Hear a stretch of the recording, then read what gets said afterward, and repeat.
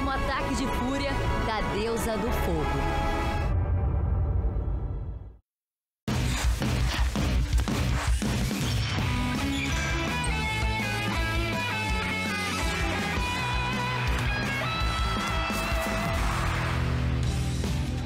Boa tarde para você. Sábado quente nos termômetros e no esporte, viu?